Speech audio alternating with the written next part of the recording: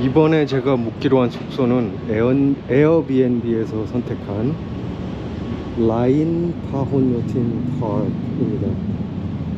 여기가 빌딩 A에 있고요. 빌딩 A하고 빌딩 B가 있어요. 근데 여기 보시면 빌딩 A라고 써있죠? 아, 그런데 아파트, 아파트란다. 콘도 입구가 너무 아름답습니다. 고기가 있는 연못이 있고요.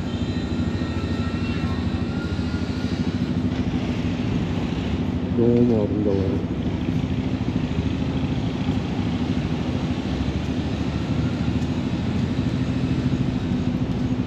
센트럴 라파에서 굉장히 가깝고요. 로터스 바로 옆에 있습니다. 이 건물을 쭉 올려다 보면 굉장히 건물이 높죠. 그리고 건물 A와 건물 B를 이렇게 걸어서 이동할 수가 있어요. 건물 A와 건물 B를 이게 정원입니다. 이 정원에서 산책도 할 수 있고요. 너무 좋습니다. 잘 선택을 했고요. 하루에 1250바트. 저는 굉장히 싸다고 생각합니다. 너무 좋습니다. 이 주위에 높은 건물도 있는데 이 다른 오피스 건물인지 콘도인지 모르겠는데 여기 앞에 흰색 건물이 빌딩 A 어두운 색 검은색 건물이 빌딩 B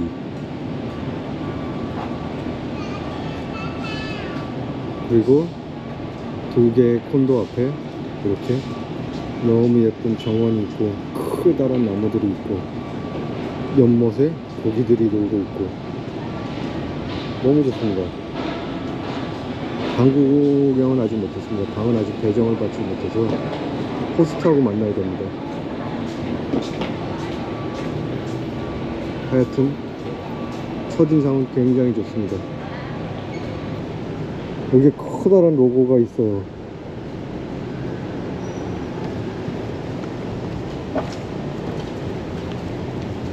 커다란 로고가 있고 이게 입구입니다. 라운드바웃이죠. 그리고 이쪽으로 걸어 나갈 수가 있네요. 이쪽으로 쭉 걸어가면 여기가 로터스의 주차장입니다. 라인 파혼 요틴 파크 콘도고요. 에어비앤비로 찾았습니다. 1박당 가격은 약 1200바트. 굉장히 저렴하죠? 방을 좀 둘러보면 이렇게 부엌이 있습니다. 부엌에 식기들이 쫙 있고요. 여기 마이크로웨이브가 있고요. 전자레인지. 여기에 인덕션이 아니고 이렇게 음식을 해 먹을 수 뭐라고 그래야 되죠? 화덕? 저 이제 라면들은 제가 사다 놓은 거고요. 이렇게 식기들이 있고 이 집주인이 여자분인데 굉장히 섬세하고 세심한 것 같아요. 이렇게 위에 모든 집기들을 다 가지런히 정리를 해, 해 놓으셨고 제가 왔을 때도 손수 나와서 맞아 주셨고요. 이렇게 집기들 그리고 뭐가 많습니다 여기 목걸이도 많고요. 여분으로 준비해 놓으신 게 많아요. 이- 자기가 여러 군데, 지금 이 콘도에만도 여러 군데 방을 가지고 있다. 넓은 방이나 필요하면 알려달라고 말씀을 하시더라고요. 방을 쭉 더 둘러보면 이렇게 세면대, 토일렛, 그 다음에 안타깝게도 여기는 샤워밖에 없습니다. 물론 모든 콘도가 다 그렇죠. 샤워. 샤워 물도 잘 나와요. 샤워 물도 잘 나오고 이 수건들은 이제 제가 쓰고 나서 걸려 있는 거고요. 여기 냉장고 위에 물도 제가 로터스에서 사다 놨습니다. 콘도 바로 앞이 로터스입니다. 그래서 시- 시장 보기도 너무 좋아요. 이렇게 식탁이 있고 냉장고가 크죠. 냉장고에다가 제가 여러 가지 먹을 것들을 좀 사다 놨고 이게 거실입니다. 거실이 앤틱 스타일로 참 잘 꾸며 놓으셨어요. 이제 침대가 보이고 이 거실에서 거실 장식들을 보면 참 이쁩니다. 에어컨이 있고 그 앞에 TV가 있고 와이파이 공유기가 있고요. 침대를 보면 침대도 너무 잘 꾸며 놓으셨어요. 침대도 너무 잘 꾸며 놓으셨고 여기 앞에 책상이 하나 이렇게 있습니다. 이게 화장대라고 해야 될 텐데 책상이 하나 이렇게 있고요. 전망은 그렇게 좋은 편은 아닙니다.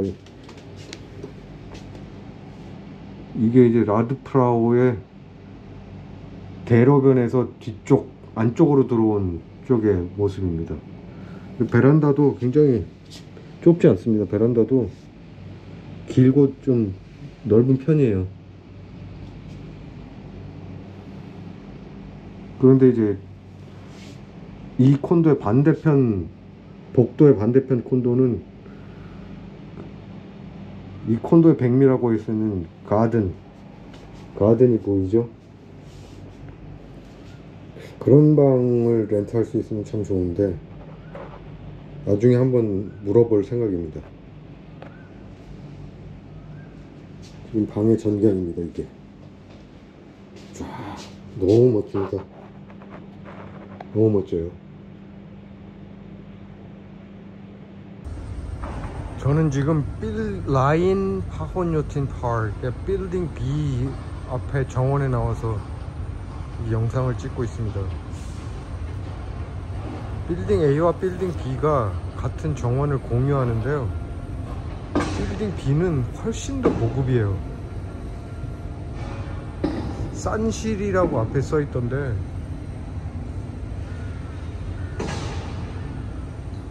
빌딩 B가 빌딩 A보다 훨씬 고급이에요. 건물도 훨씬 더 이쁘게 잘 지었고요.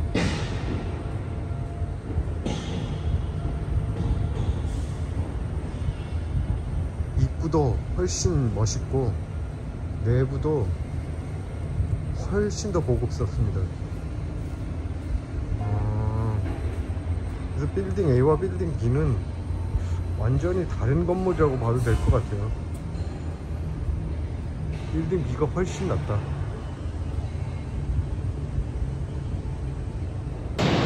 이게 로터스를 관통해서 나오면 큰 길이 나옵니다.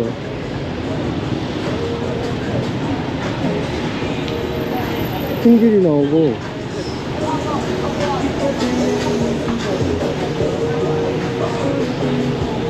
길을 건널 수가 있을 것 같은데요.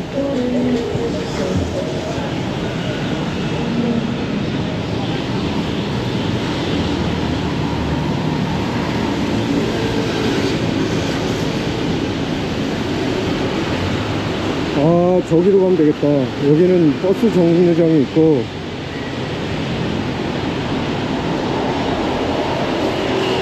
저기 앞에 보니까 BTS 역에 에스컬레이터가 보이네요. BTS 하약 랏프라오 역이겠죠? 바로 앞이 센트럴 랏프라오네요. 가다 보면 라이프 랏프라오도 있습니다. 여기가 근데 에어비앤비로 잘 안 나오는 것 같아요. 라이프 랏프라오 밸리를 지나서 이 에스컬레이터를 타고 올라가면 바로 센트럴 랏프라오가 나오게 됩니다. BTS 하약 랏프라오죠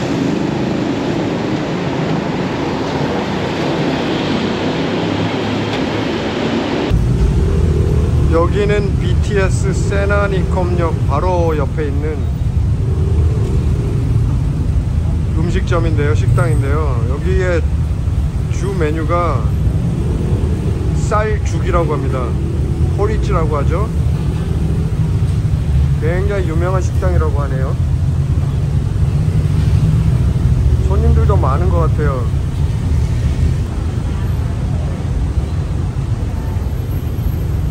이름이 뭔지 모르겠어요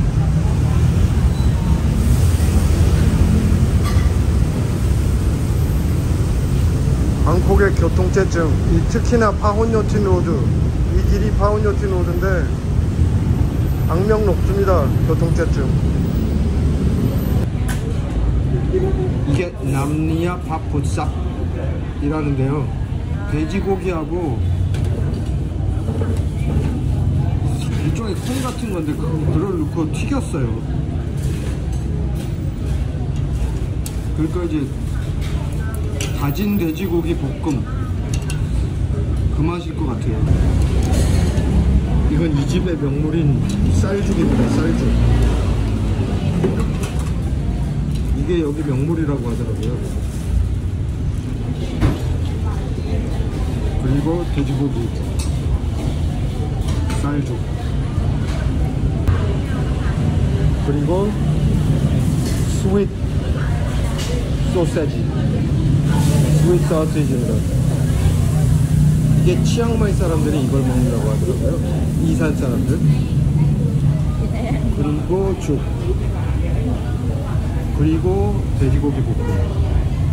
굉장히 단촐합니다, 여기. 돼지 내장을 튀긴 것 같아요, 이거. 맛이 괜찮습니다. 이름을 뭐라고 하는지 안 물어봤네. 그래도 맛있네요. 돼지 내장 튀김. 삐차이카우 토후 무삽 이라고 하는데요. 어 근데 맛있게 보인다. 알로이. 룩스 알로이. 소세지.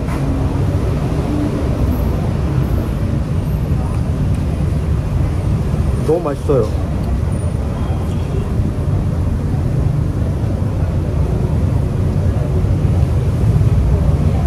그리고 야채.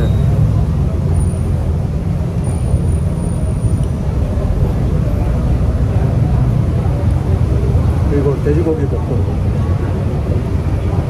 할로이. 할로이.